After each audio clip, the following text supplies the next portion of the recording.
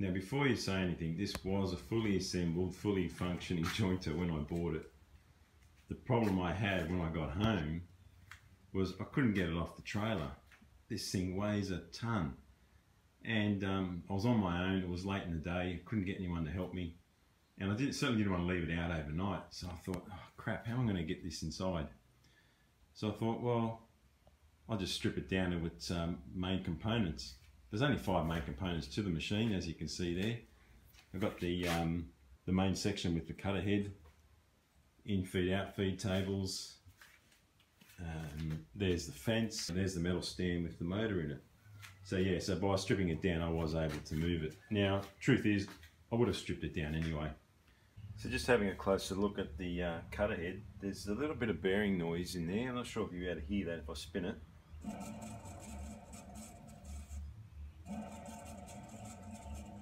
Yeah, so there's a little bit of noise there, so I'll pull that out and um, just have a look at that. Maybe we can replace the bearings.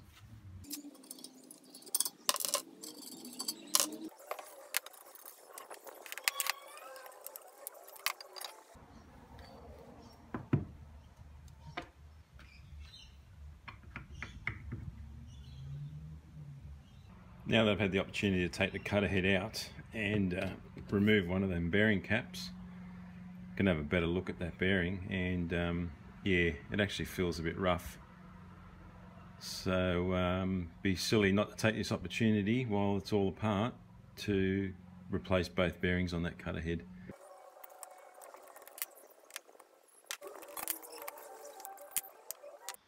The knives on the joint are in uh, remarkably good condition. They've um, still got a bit of an edge on them however it is dull.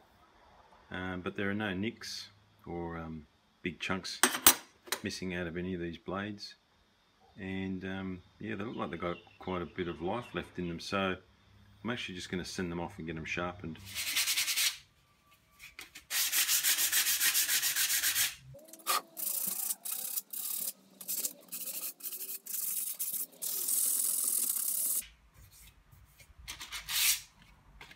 I actually hadn't planned on um, worrying about repainting the machine because basically I thought it was going to take too long and uh, I wanted to get it back in service as quickly as possible. But you know, one thing leads to another and um, I started cleaning up a bit, a few paint chips and then it just got bigger and bigger and I thought, oh, why not?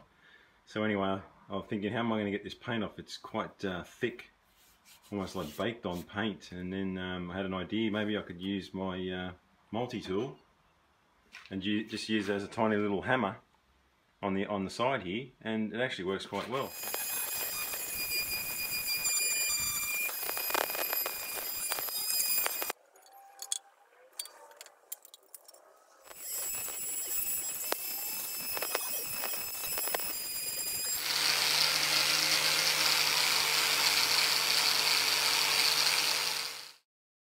So it's just ready for painting now. Now before I do the painting, for some reason this base mounts to the cabinet with only three bolts rather than four.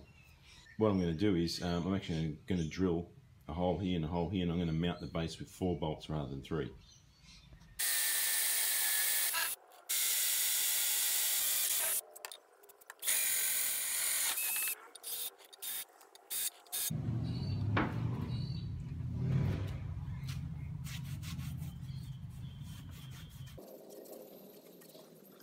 I decided on this light grey colour to paint the jointer because it uh, actually matches my table saw and I also thought it would brighten up the workshop a little bit.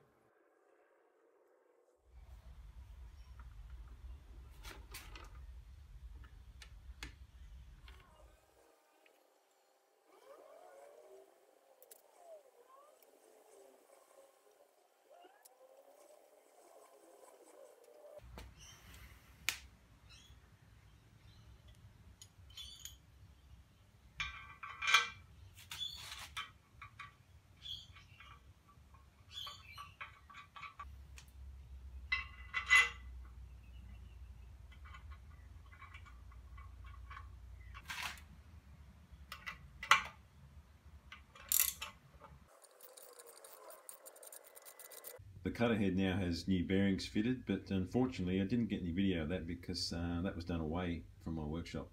Okay, so the cutter head's installed back into the uh, jointer and um, it's looking pretty good. No more noise. That's great. I've got the base upside down at the moment because I want to make some further enhancements to it before I do a final respray. I want to fill in this area here and this area here with uh, some timbers, probably two by fours all the way across from side to side. The idea of that is uh, basically just to stiffen up that base and also I'm going to mount casters directly to those timbers as well. It was sitting on that base there with the casters on it but um, I want to make it a bit more permanent.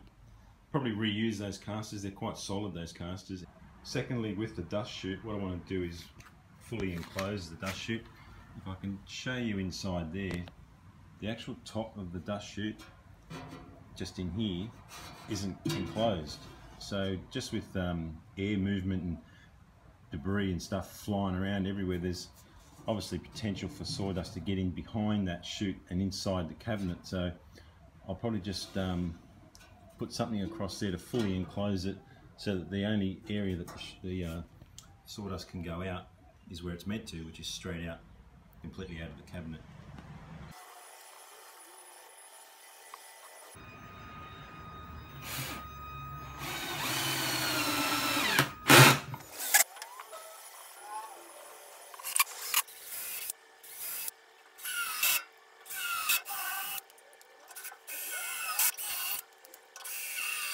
So I originally mounted these casters back from the edge of the cabinet as you can see there. Now there's two reasons for that. First reason was if the wheel was in this position here I didn't want it protruding past the cabinet and therefore kicking it with my foot all the time. And the other reason was I wanted to keep these mounting screws away from the edge of the timber. But once I had the cabinet standing up I was concerned that I'd narrowed its footprint too much and it was uh, or could be a little unstable so I've changed my mind and I'm going to remount them and I'm going to bring them all the way to the edge of the cabinet as you can see there. Um, with those screws on the towards the edge of the timber, all I've done is I've screwed them in at an angle. To fill in the gap at the top of the dust chute, I just cut a piece of uh, um, scrap MDF to the right size and so that it can mount to the cabinet through these through these mounting holes up here. Uh, if I take that out, you'll just see what I did there is originally just um, glued two square pieces of timber either side of that piece of MDF and using uh, bevel gauge I transferred the angles inside the cabinet to my table saw and then just cut these off at the um, appropriate angle.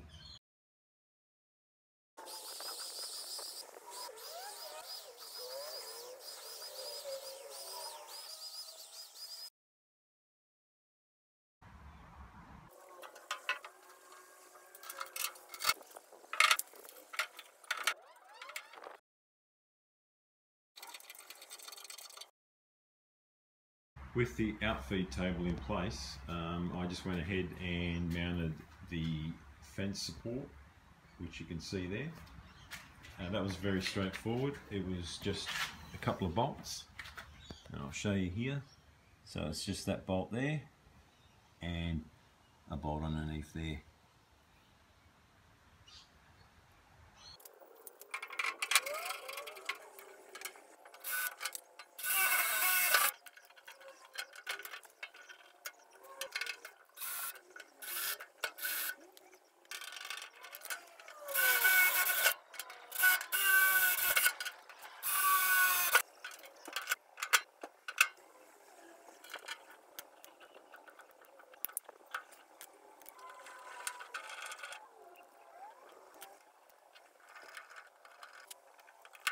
Well, the joint is mostly together now. Um, a couple of small things yet to go on. Obviously the fence and um, the knives. But yeah, I wanted to give it its first run since I put it back together with the new bearings in the cutter head and the new switches uh, on now. So I'll just turn it on and see how it uh, runs.